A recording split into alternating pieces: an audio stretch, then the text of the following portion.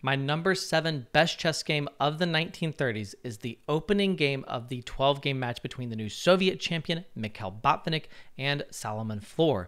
Now, Flohr was at this time considered to be maybe the strongest possible challenger to world champion Alekhine. He'd been dominant in many events, although he had struggled in his individual matches with Alekhine. He was born in Ukraine, moved to Czechoslovakia, but when the Nazis invaded, he had to flee to the Soviet Union. By his own admission after the war, his chess was never quite the same. Now, Botvinnik, on the other hand, obviously ultimately became the patriarch of Soviet chess. After becoming the new Soviet champion, he needed training matches, and this match was organized by Nikolai Krylenko and Ilyin Genevsky. These are two of the founders of, of the Soviet chess scene. Now, Ilyin Genevsky died in the siege of Leningrad when in 1941 a Nazi bomb struck the barge that he was traveling on. Krylenko is a figure that you might not have heard of, but he really did maybe more than anyone else to help establish early Soviet chess. Now, that might make you think that he's an admirable figure, but such was not the case. This was very much a political game for him to demonstrate Soviet dominance. And you see that train of thought extending through to, for example, the Fischer versus Spassky match. Now, Krylenko was a committed believer, committed to belief in communism, the Soviet Union, Stalinism, and even the purges. He once said, We must execute not only the guilty, execution of the innocent will impress the masses even more. This horrifying statement is perhaps one of the most ironic statements of all time, as he was himself killed in a purge in 1938. Botvinnik and Flohr are two of perhaps the greatest positional chess masters of all time. So, what opening should two great positional masters contest? Well, I can't think of a better opening choice than the Caro-Kann. Now, after this, we get d4, d5, pawn takes d5, pawn takes d5, and c4. It's not called the Panov Botvinnik attack for nothing. Now, here we see knight f6, knight c3, knight c6, bishop g5, pawn takes c4, d5 attacking the knight, which jumps into e5, and queen d4, a beautiful central location for the queen. The knight hops into d3, forcing white to give up the bishop for the knight. Bishop takes d3, pawn takes d3, and now white can simply capture back here and maintain a good position. If you want to be a little clever and not capture back yet, rook d1 is also a viable move. However, it turns out that Botvinnik makes a huge positional mistake in this position. In fact, this mistake is so large, I can't really wrap my head around it.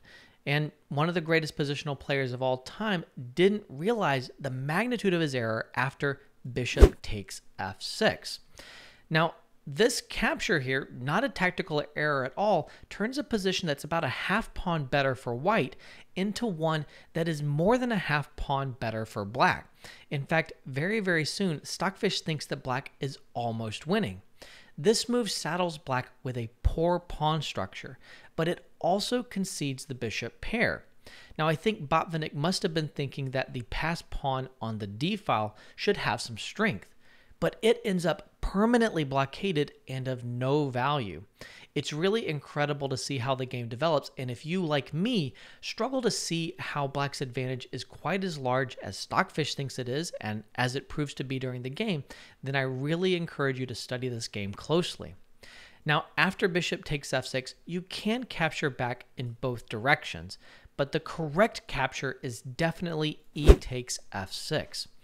This move here does allow white to establish what seems like almost an extra pawn here in the middle of the board because black's extra doubled pawn over here doesn't seem to have value.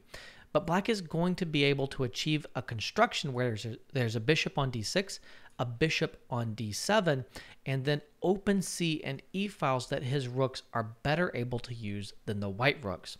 Also, black is going to be able to expand with the pawns on both sides of the board. Let's see how all of this develops. Queen takes d3 here, and now bishop to d6, knight g to e2, both players castle very sensibly, and rook to e8, a beautiful post, of course, for the rook.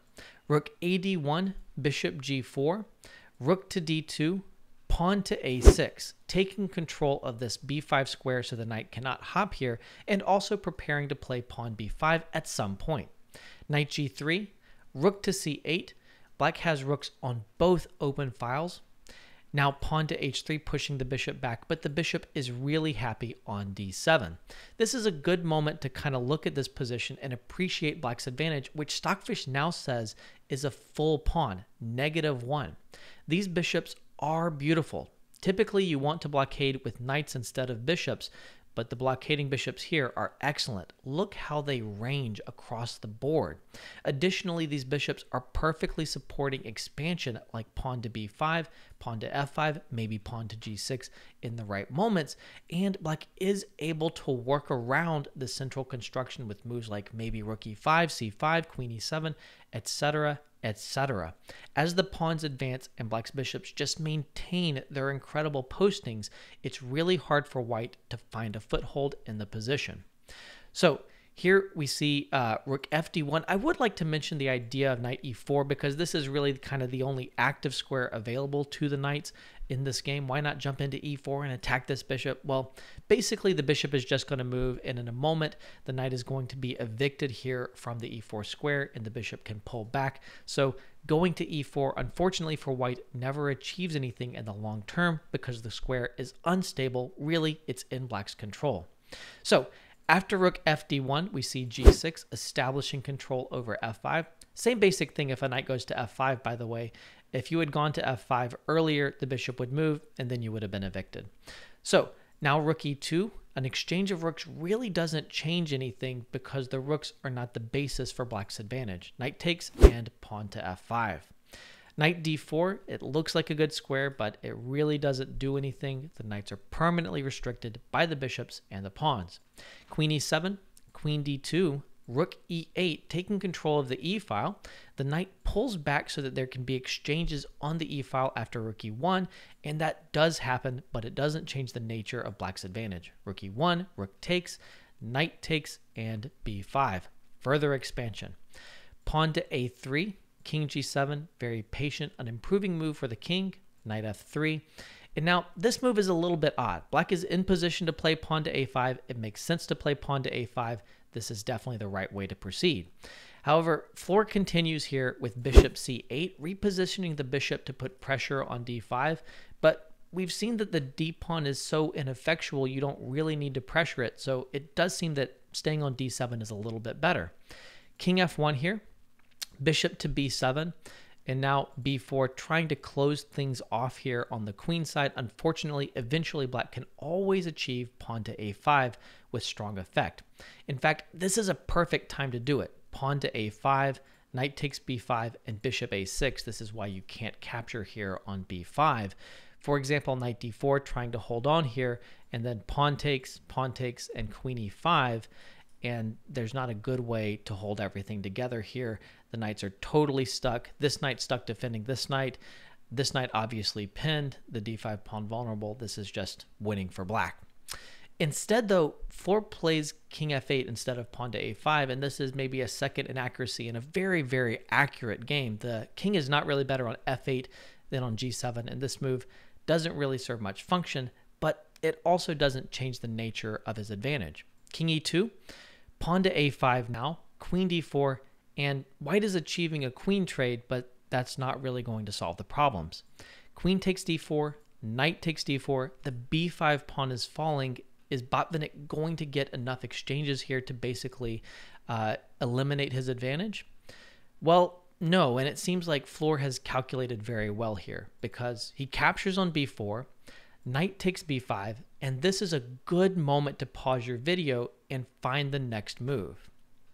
Well, Flohr is not retreating his, his bishop here on d6. Instead, he plays pawn takes a3, incredibly sacrificing the bishop. And at this point, of course, he's also seen the beautiful follow-up in two turns. Now, Botvinnik does capture on d6. Of course, if he doesn't do this, then he's just going to lose to this very strong passed pawn. So he does have an extra piece. A2, and he must step back and stop the pawn's promotion. Knight c2. There's really not a big difference if you go knight b3 instead. And now, again, I would encourage you to pause your video if you haven't seen this move coming yet. It's really critical on this next turn. Well, we're not capturing on d5 when black is not worse, but you're also not really in a position to win. Instead, bishop a6 check.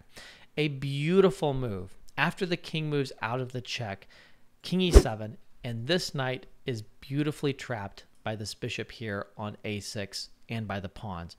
This domination, one more time, of the knight by a bishop in this game is both instructive and thematic. So there's no choice. The knight has to be given up for a pawn, and it doesn't really make a difference if you capture the f7 pawn or the f5 pawn. Botvinnik chooses the f7 pawn, knight takes f7, king takes f7, king to d4 here, and bishop f1. A pawn is lost over here. So h4, bishop takes g2, king c5, and pawn f4. This is the 40th move, and Botvinnik chose to resign without continuing this game. This might seem surprising since he's only down one pawn, and this pawn seems like it's fairly strong, even though his knight is obviously restricted forever to trying to hold back this pawn. But it turns out that the winning plan is clear, and I'm not 100% sure, but I suspect the game was adjudicated so the players were able to analyze at home for a really long time, which is why what might seem like an early resignation is very justified after a full night of analysis. Essentially, what's going to happen here is Black is going to be able to bring over the king at some point because this pawn here is going to be vulnerable to the bishop's attack. You're probably going to advance it to a dark square and it's just going to be blockaded. Then black is able to force white into Zugzwang at some point. You could put the bishop on d1 or possibly on a4 and trap the knight over here and you can shuffle running the white king out of moves. That will eventually win the d pawn and eventually you can then proceed sometimes without even taking time to win the d pawn with the king into the king side you'll just mop up and win the game the computer at this point already indicates negative three and so botvinnik decided to give it up and focus on the next game well, I hope you enjoyed this really rich game. It's one of my favorite positional victories of all time. Every time I replay it, I feel like I learn something new. So, if you want to see more of my favorite chess games of the 1930s, then simply click on the playlist that is popping up on your screen as I speak.